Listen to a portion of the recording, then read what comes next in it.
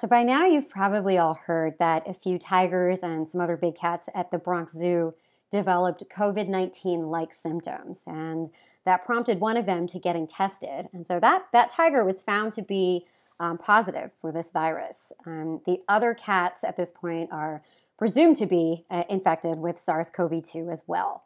What probably happened was that an asymptomatically infected zookeeper unknowingly transmitted the infection. And we don't know if that person transmitted the virus to each of the infected big cats or just to one animal, and then the cats infected each other.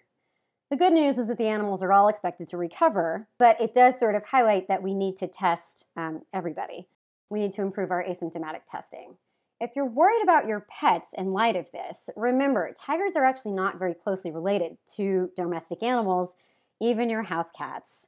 Um, there's still no evidence that companion animals, like your cats and dogs, can transmit the virus to humans.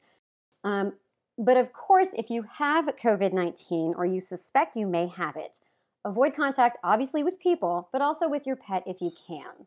In the case that you're infected and you're having a lot of contact with your pet, your pet could possibly aid in virus transmission to another household member as a fomite, the same way that touching the same doorknob could.